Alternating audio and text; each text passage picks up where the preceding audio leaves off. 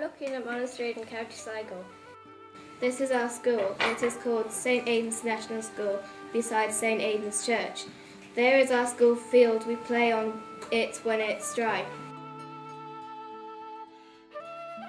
This is Lough Gara Lake. It is a short distance from our school. The small islands were man-made and crannogs were built on them in the Bronze Age. There are some big islands too.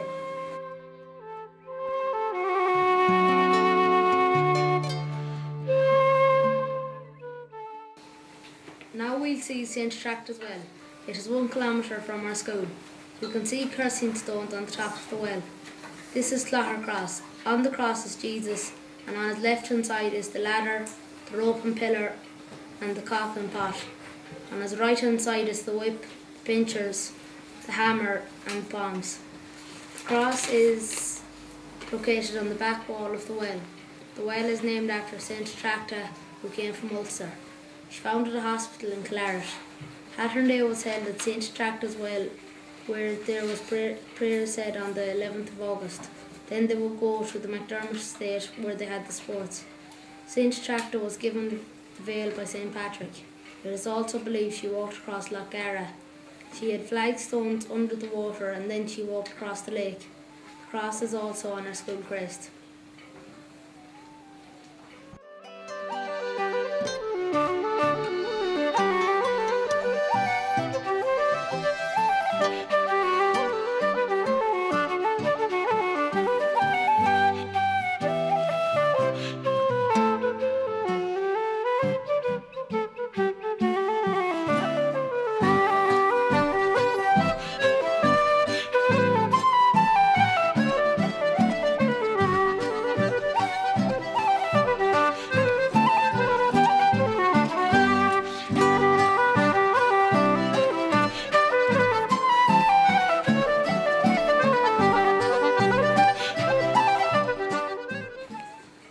This is the Clogher Stone Fort.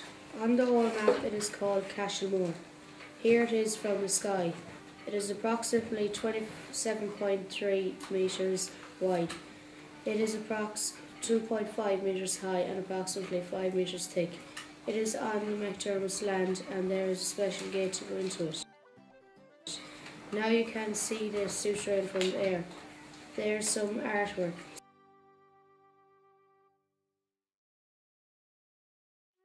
The souterrain is made from dry stone wall and it is for storage. The roof was made from flagstones.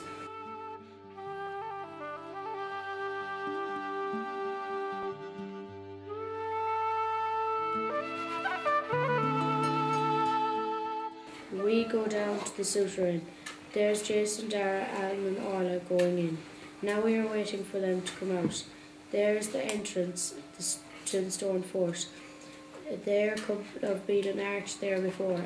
The stone fort date, dates back to the Bronze Age.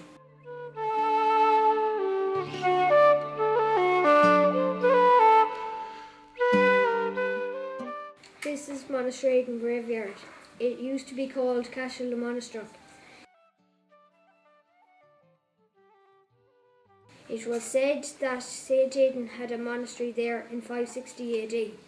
The graveyard is the only circular graveyard in Ireland that is in use.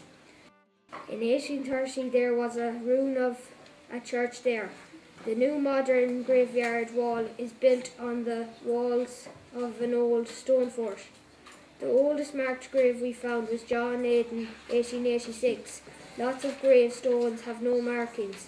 There is one unmarked. There is Celtic crosses in the grave. There is Kean pointing out the old castle wall. There is the souterrain. It is covered over because there is a drop into it. We used the stone fort as the setting for St. Aidan's Monastery.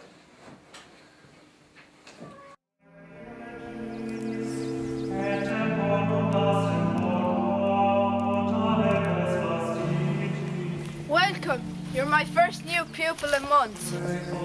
New pupil?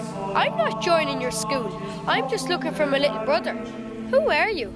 My name is Aidan. This is my monastic school. I thought this was the graveyard. No, this is a monastic school. There's no classrooms.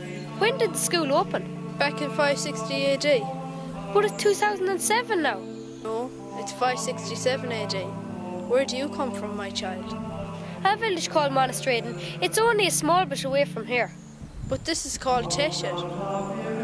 Monasteraden? Why is your village called Monasteraden? It must be named after you, St. Aidan, Monastery of Aidan.